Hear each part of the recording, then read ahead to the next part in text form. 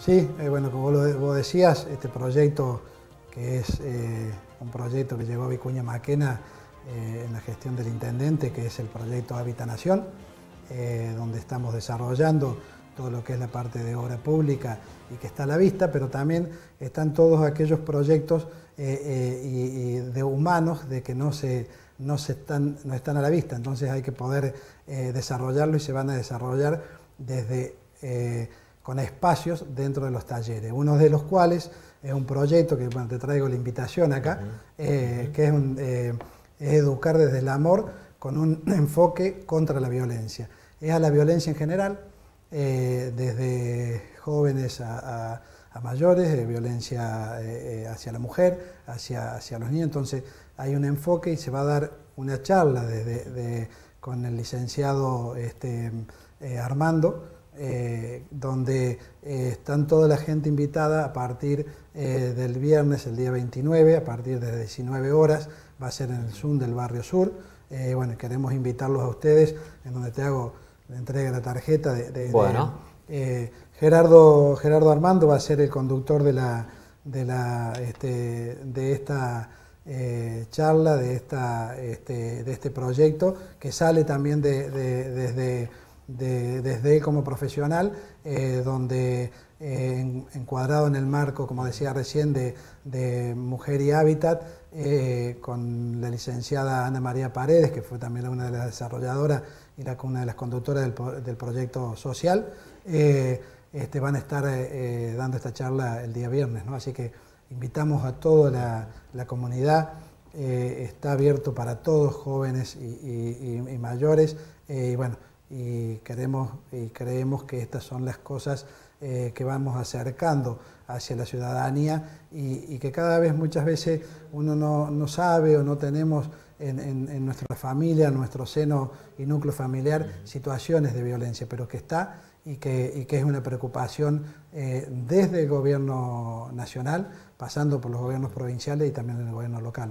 Bien, ahí estaba saliendo la, invitación, eh, seguramente ojalá la gente se pueda acercar eh, por lo menos para escuchar, ¿no? Más allá de que se tenga o no una determinada problemática, pero que eh, puedan ir a escuchar. Eh, lo importante es eso, empezar a abrir las puertas, poder ir a estas charlas a escuchar, a, estar con, realmente con el profesional que entiende de la situación y que puede hasta poder dar los primeros pasos hacia, hacia una situación y saber de una situación de violencia, entonces es importante que la gente vaya a escuchar, que vaya...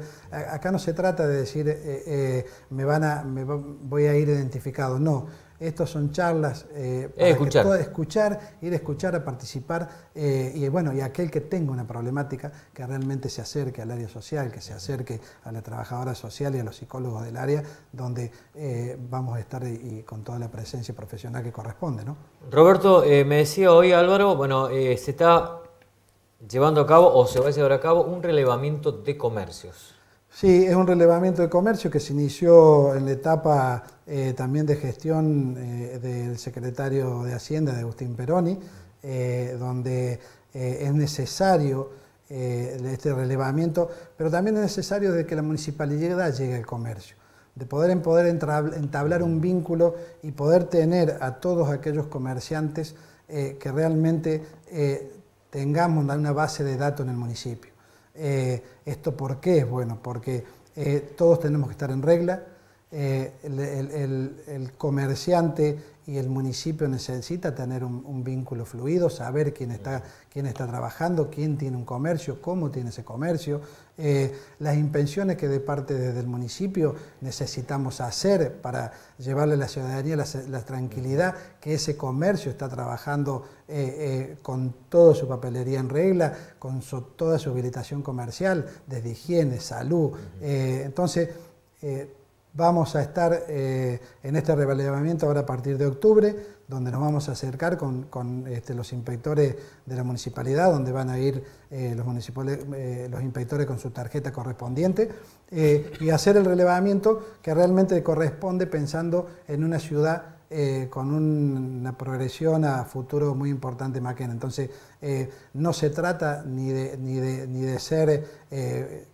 policía fiscal, ni nada, simplemente de saber que nosotros queremos contar con un padrón y realmente la cantidad de gente que tiene comercio en Vicuña Maquena. Y además, Roberto, discúlpame también, que seguramente con eso buscar también un poco más la contribución, ¿no? Si el pago de impuestos y demás. Exactamente, acá lo que, La regulación, digamos. es que es lo que tenemos que estar y, donde tiene que estar eh, el municipio para que todo aquel que trabaja eh, lleve sus aportes como corresponde, eh, pues si no siempre termina redundando en lo que hemos venido diciendo, aquel que ha aportado toda la vida y que ha estado trabajando y ha crecido en un comercio y ha desarrollado su comercio en la ciudad, con trabajo y el esfuerzo de la familia, del hombre de la casa o de la mujer.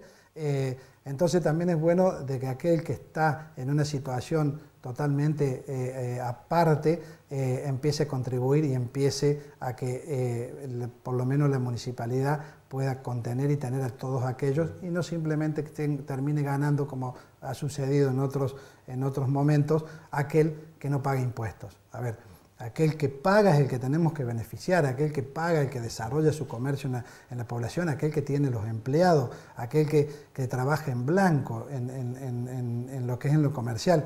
Entonces, desde ese lugar donde nosotros estamos y hoy desde la, desde la este, Secretaría de Hacienda lo estamos marcando este, de esta forma. Eh, ayer eh, se entregaron dos herramientas nuevas, una restupala y bueno, también una, yo le digo lladora, pero es una perforadora. Eh, ¿Qué balance se puede hacer desde el comienzo a lo que tiene que ver con el parque automotor municipal? Bueno, esto desde un primer momento en esta gestión el intendente Héctor Laborde eh, nos comunicó a todos, eh, todo el Ejecutivo, donde él quería sí o sí transformar el parque automotor del Corralón. agradeciendo, y esto lo voy a volver a repetir, lo hablé en la radio los otros días, agradeciendo al personal del Corralón, eh, porque teniendo muchas veces la maquinaria en una situación de, muchos años, de, eh, que era, era estar permanentemente acomodándola y arreglándola, los servicios se prestaron, se llegaba a todos lados, mejoramos la situación de los servicios, la calidad de los servicios. Entonces, eh, desde ese momento el intendente nos planteó que quería y que trabajáramos para poder este, desarrollar y tener un parque automotor en el Corralón a la altura de las circunstancias de la ciudad de Vicuña Maquena. Entonces, bueno, eh, está en visto y hemos estado trabajando, de los cuales hemos tenido toda maquinaria eh, desde la palita chiquita, la, pala cargadora Michigan grande, eh, tenemos ahora una retropala, que esto entra dentro del ente del EDOSMA, pero que va a ser para el beneficio y para el trabajo de Vicuña Maquena. Tenemos unos camiones eh, que, ya, están en proceso de, llegar muy pronto a la ciudad, que es un camión recolector de residuos nuevo, eh, este, un camión volcador con la caja que tenía el viejo Ford, eh, se, ha, acomodado, se ha trabajado, los muchachos en el corralón, Guillermo ha trabajado, ha hecho un trabajo de reacomodamiento de la, de la caja volcadora.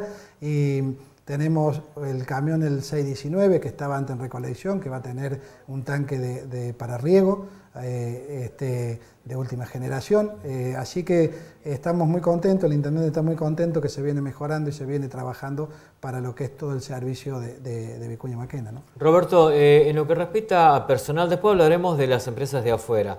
Pero, ¿se ha incorporado más empleados a la municipalidad de Vicuña Maquena? Se, ha incorporado y creo que ya está eh, este, en público conocimiento eh, una María Adela de Pauli, la licenciada María Adela, psicóloga y licenciada María Adela de Pauli, en la parte de reorganización desde el área social hacia, hacia las demás, áreas. ¿Qué es lo que, em, con esto, qué es lo que queríamos, queríamos hacer desde el área social? poder tener una visión hacia todos los sectores, tanto lo que es salud, como el hospital, eh, como esa la cuna, la guardería. Eh, los, relevamientos eh, se hicieron y se siguen haciendo. están, estamos trabajando eh, la trabajadora social y, una, y, una, psicóloga están saliendo haciendo territorio, donde estamos llegando eh, a domicilios para ver las problemáticas y saber cuáles son las situaciones de vulnerabilidad y qué, realmente se necesita, como sucedió, no sé si se acuerdan, en, la tormenta pasada del año pasado, donde hubo situaciones y que llegamos a las casas de esas personas, pudimos hacer una asistencia donde hemos cambiado algunos techos, donde hemos acomodado algunas eh, partes habitacionales. Eh, y bueno, entonces desde ese lugar estamos trabajando y llegando, eh, que, que, lo importante es eso, poder llegar a la población que realmente necesita.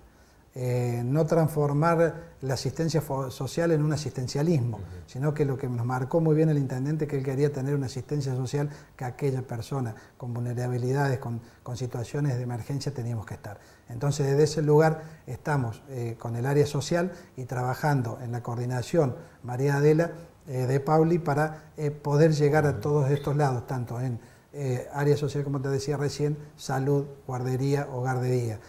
creo que todos aquellas, aquellas personas que necesitan y pasan por alguna situación eh, de emergencia, eh, tanto en lo social eh, como humana o de salud, van a pasar por esas áreas. ¿no? Roberto, hoy Maquena público conocimiento, hay, como decía al comienzo, hay muchos frentes de obra, es decir, hay empresas que están trabajando. ¿Se puede hablar de desempleo hoy en la localidad con este movimiento que hay? No, hay, hay, una, hay una situación que se venía y que veníamos eh, eh, hablando y veníamos eh, trabajándolo en el municipio, que es la preocupación que teníamos sobre los jóvenes. cuando uno habla de desempleo, muchas veces siempre miramos al padre familia, ¿no es cierto? Pero también está aquel joven que termina la edad escolar, tanto el secundario, o aquel que no puede tener acceso hacia, hacia el estudio por eh, situaciones económicas, por situaciones sociales y que decide trabajar desde muy joven, desde los 13, 14, 15 años, eh, que muchas veces ayuda a su padre o ayuda a un familiar. Eh, entonces veíamos que había una situación donde teníamos un problema con ese joven de que no estaba estudiando y que este, el trabajo que se generaba en la ciudad con la, con la cobertura de todas las empresas de la ciudad no estaba faltando. En esto que, hoy también hay que destacar, que es la obra de gas, eh, que desde la provincia eh, se está trabajando y que muy, con muy eh, corto tiempo vamos a tener en, la ciudad ya la, boca de gas, en, calculamos que para fin de, año, si todo, y la situación creo climática, que es la que tiene que acompañar. ¿Qué es lo que sucedió? tuvimos a los obradores, a los obradores de las empresas, eh, eh, enclavados en Vicuña Maquena. Entonces eh, hicimos un trabajo con esas empresas cuando llegaron y que hay que agradecerles de que se acercaron al municipio y también nosotros tuvimos la pronta de llamar y de decirles que se acercaran, que teníamos currículum y que teníamos chicos jóvenes y también gente que necesitaba trabajo y que veíamos en ellos un futuro hacia, hacia este, esta situación. Eh, de los cuales hoy tenemos eh, la alegría de que hay una empresa que ha tomado ya 40 eh, personas, la mayoría jóvenes. Este, entonces, esto nos genera hoy en, Vicuña Maquena y en la ciudad una alegría de poder contar de que ese joven hoy no está en la calle, sino que está trabajando, de que no está pidiendo por un trabajo, sino que ya lo va a tener. Y bueno, es una inmensa alegría que lo que hemos hecho, el trabajo que se ha hecho desde el área eh, ahí, este, desde el Ejecutivo, trabajando con estos currículum, con, también con el área social, de poder haberlos presentado y que hoy tengamos ese, trabajo. Y además también jóvenes profesionales, ¿no? que tiene que ver con la parte administrativa o al manejar alguna herramienta específica. está, el, empleo de oficio, el, oficial, que va a tener, eh, por ejemplo, se estaban necesitando soldadores, eh, eh, se estaba necesitando gente para manejar, como vos decías, herramientas, y después aquel personal para la obra en general. Así que eh, estamos muy contentos y muy conformes de, poder haber logrado eso. ¿no? Eh, aquel que por ahí, por alguna cuestión, no haya llegado, eh, ¿se siguen presentando currículums en la empresa o no? Que se sigan, nosotros necesitamos, y esto yo lo había comentado en una radio, nosotros necesitamos tener, y, que aquel joven y aquella persona tenga que se acerque al municipio para dejarnos el currículum. ¿Qué quiero decir con esto? A ver, no, te, no podemos decirte te vamos a dar el trabajo. ¿Por qué? Porque no somos, eh, eh, ni, ni, vamos a decir una cosa por otra, sino que informarles de que el trabajo nuestro es llevar esa carpeta, informarle a la empresa de la situación y desde la empresa es donde van a tomar el, al, personal eh, sí o no. Pero por lo menos nosotros eh, tenemos la tranquilidad que ese trabajo lo estamos haciendo. Entonces, yo le pido a todos aquellos que quieran y necesitan un trabajo que nos, se lleguen al municipio. Ahí tenemos en, mesa de entrada, está Diana Ferreira, donde toma todos los datos, preparamos la carpeta nosotros y nosotros la... a ver, y en esto hay, que también decir algo, Roque, que, que es que acá no hay miramientos políticos. Simplemente en estas situaciones y cuando uno trata en poder proyectar a la gente, poder desarrollarle algo a la gente, no hay que ser miramientos políticos, porque siempre se siente por ahí que, ah, no, porque a mí no me van. No, estamos trabajando con todo, con todo el no se le pregunta el color político, ¿no? No, exactamente. Entonces, eh, porque por ahí sucede que no, que vas a ir. No, no, llegate al municipio. Llegate al municipio que nosotros lo que hacemos es poder hacerte, formarte ese currículum y presentárselo a la empresa. Roberto, como siempre, gracias por venir. ¿eh? No, gracias a vos, Roque, por favor, y cuando necesites estoy. ¿eh? Muy bien, ahí está Roberto Casari, entonces secretario de Gobierno. Hacemos una nueva pausa y ya venimos con más BTV Noticias.